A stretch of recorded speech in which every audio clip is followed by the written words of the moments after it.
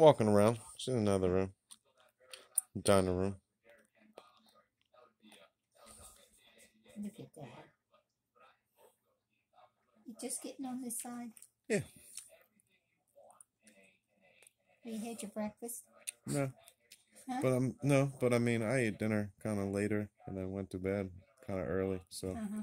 I'm not super hungry. Especially not trying to eat nothing to give me a stomach ache either.